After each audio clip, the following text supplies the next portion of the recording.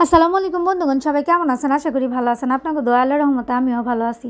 আসলে প্রত্যেক দিন যে দেওয়া সেটা হয়েছে আঙ্গ রুটি বানান লাগে। রুটি হয়েছে গিয়ে আঙ্গ প্রধান খাদ্য, কারণ আমার শাশুড়ির ডায়াবেটিক্স তো শাশুড়ির ডায়াবেটিক্সের কারণে আমরা ব্যাগকে রুটি খাই। রুটি খাই কেউ আবার পরোটা, কেউ মানে এক একজনের এক এক বাই না তো রুটির সাথে ডিম ভাজি, অমুক ভাজি, তমুক ভাজি, অনেক কিছু করতে হয়। সেই লেগে চিন্তা করলাম, আজকে এত ঝামেলায় যাব না, কারণ আজকে বাচ্চাদের প্রথম দিনের স্কুল। তো এই হিসাব করে যেটা করলাম লেটাবাটা খিচুড়ি রান্ধনের একটা তৈরি করলাম। লেটাবাটা খিচুড়ি বলতে পাতলা খিচুড়ি, অনেকে লেটকা খিচুড়ি কয় আপনারা আসলে কেরা কী কারণ আমি তো জানি না, তবে কার কার পছন্দ এটা কিন্তু কইতে পারেন। আমার কাছে তো লেটাবাটা খিচুড়িটা অনেক বেশি ভালো লাগে।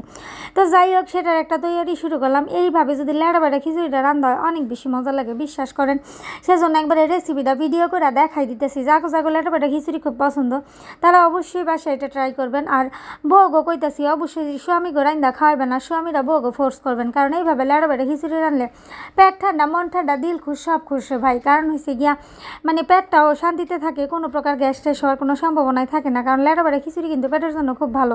এটা তো সবজি দিয়ে রান্না করা হয় হিলিগা তো আমি এখানে অনেক প্রকার সবজি লয়ে লইছি, কারণ শীতের সবজির তো অভাবই থাকে না, বুঝেন না? সবার ঘরে কম বেশি সবজি থাকে। তা আমি এনে লাউ কবি তারপরে আরও আলু টালুর অনেক কিছু দিয়ে লইছি। যার যেই সবজি থাকে ঘরে, সেটা দিয়ে রান্না শুরু করবেন। কোনো সমস্যা নাই লেটাবাটা খিচুড়ির আবার কোনো রকম মানে একবারে নাম করা সবজি হইতে হবে, এরকম কোনোই নাই। যা সব ধরনের সবজি এটার মধ্যে খাটে। হিলিগে এটার নাম লেটাবাটা খিচুড়ি। তো যাই হোক, তো আমি একবারে খিচুড়িটা বসাই দিলাম সুন্দর করে খিচুড়িটা হইতেছে। আসলে কার কার পছন্দ আমার একটু কয়েন তো লেটা বেটা খিচুড়িটা আমার কিন্তু প্রচুর প্রচুর প্রচুর মজা লাগে এটা।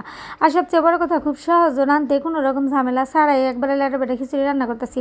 এই যে সকাল সকাল আপনার রুটি বেলো, রুটি বানাও, তারপর আবার পরোটা বানাও, এটা খুবই ঝামেলা। তো যদি কোনো সময় চান্স পাই তাহলে লেটা বেটা খিচুড়িটা বসাই দিই। এটা আসলে সময় স্বল্পতা। আবার হয়েছে খাইতেও খুবই মজা। আমাদের ফ্যামিলির তো সবাই পছন্দ করে। তো চিন্তা করলাম, আজকে সুযোগটা কোনোভাবে হাতছাড়া করা যাবে না, কারণ সময়ও কম। তারপরে বসাই দিলাম, এই দেখেন আমার খিচুড়িটা আমার মোটামুটি হয়ে আইতেছে।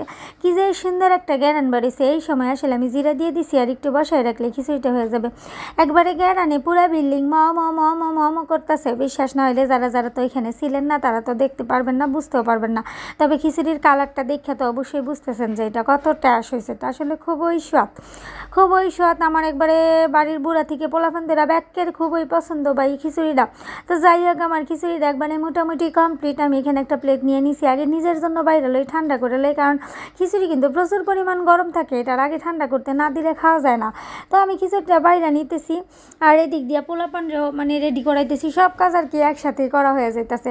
তো যাই হোক বন্ধুগণ, এই ছিল আজকের রেসিপিটা সবাই একটু দেখছেন, সবাই আর কেমন লাগছে একটু কমেন্টস করে জানায়েন। ফিরবো নতুন কোনো ভিডিও নিয়ে, সে পর্যন্ত সবাই ভালো থাকবেন, আল্লাহ হাফিজ, আসসালামু আলাইকুম।